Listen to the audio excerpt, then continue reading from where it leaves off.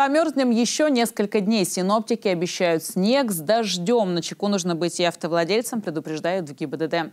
Об этом и не только. Расскажу в ближайшие минуты. Вы смотрите «Давича». Меня зовут Елена Чехомова. Здравствуйте. В больницах, школах и детских садах уже тепло. Жилые дома по распоряжению главы администрации тоже торопятся подключать к отоплению. Когда согреемся? Несколько десятков человек в эти выходные выпили алкоголь и сели за руль. Не обошлось и без серьезных ДТП. Инспекторы рассказали о дорожных происшествиях в Кировской области. В Европе вводят карантин из-за вируса оспы обезьян. В Кировской области тем временем больше сотни новых заболевших коронавирусом за неделю. Последние данные о вирусных инфекциях. Чуть потеплеет только к среде. Мокрый снег с дождем ожидается и сегодня ночью. Новый прогноз кировских синоптиков пока не радует. Область накрыл холодный фронт. Ближайшей ночью ожидается дождь со снегом. Завтра днем тоже будет моросить. В дневные часы 24 мая максимум 10 градусов выше ноля.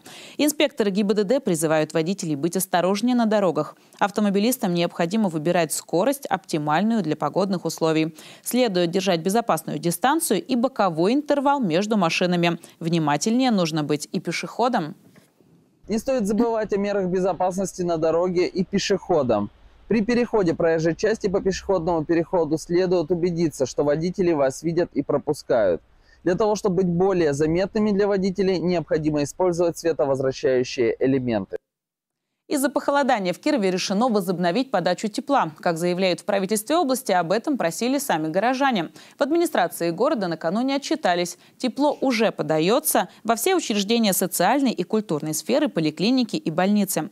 В большинстве жилых зданий, где сейчас позволяют технические возможности, отопление появится в течение двух дней – то есть сегодня-завтра. Но можно сказать точно, что батареи горячими уже не станут в микрорайоне Лингасово, в поселке Садаковский, в Радужном и Нововятске. Там уже начались работы по опрессовке теплосетей.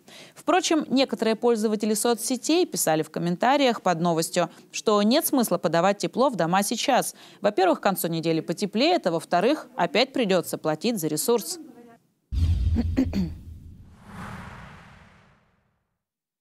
Вернемся к ситуации на дорогах. Очередная сводка от ГИБДД говорит лишь об одном. Некоторых водителей не пугает серьезное наказание за управление машиной в пьяном виде.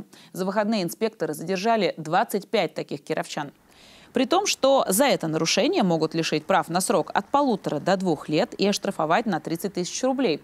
А за повторное нарушение можно попасть в колонию. Всего за выходные инспекторы пресекли почти 570 нарушений правил дорожного движения. На дорогах Кировской области произошло 13 автомобильных аварий, в которых 16 человек получили травмы различной степени тяжести.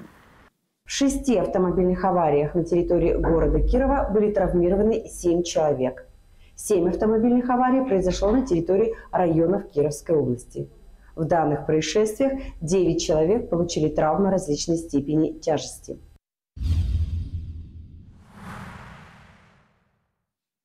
Власти Бельгии ввели трехнедельный карантин для заболевших оспой обезьян.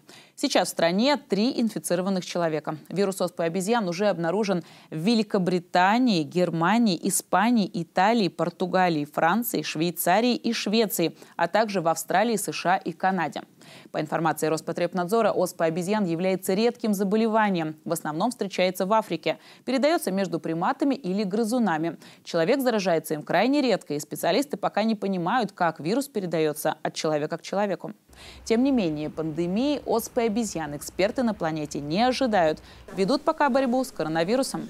Кстати, в Кировской области за неделю выявили 159 случаев заражения COVID-19 с симптомами заболевания. По данным регионального Минздрава, за 7 дней выздоровели 219 человек. В настоящее время дома лечится 960 пациентов, 320 в инфекционных стационарах, в реанимации 41 пациент, 3 человека на аппаратах ИВЛ.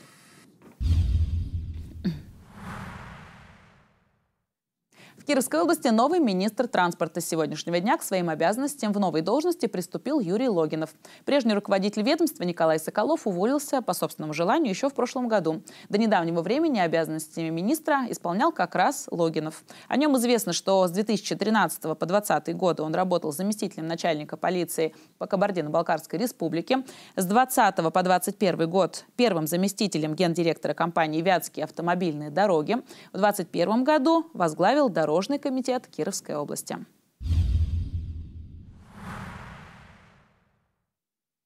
Нескольких депутатов Подосиновского района попросили с вещами на выход. Лишить должности избранников народа потребовала местная прокуратура. А все из-за отсутствия сведений об их доходах. Согласно закону, лица, занимающие государственные и муниципальные должности, обязаны предоставлять информацию о доходах, расходах и имуществе.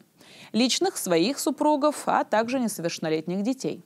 Депутаты Подосиновской и Демьяновской поселковых дум проигнорировали эти требования, за что и получили уведомление о досрочном прекращении своих полномочий. По данным фактам, прокурор Подосиновского района направил в суд исковые заявления с требованием о досрочном прекращении полномочий депутатов. Рассмотрев иски, суд признал требования прокуратуры законными и обоснованными, а бездействие представительных органов незаконным. Обязал Подосиновскую Демьяновскую поселковую думу устранить нарушение антикоррупционного законодательства, досрочно прекратить полномочия вышеуказанных депутатов. Оперативно следить за новостями можно также в наших социальных сетях, а еще пишите нам, присылайте видео по номеру, который вы видите на экране. Прямо сейчас смотрите прогноз погоды, а в 13.15 программу «Объясняю популярно». У меня на этом все. В студии работала Елена Чехомова. Всего вам доброго. До свидания.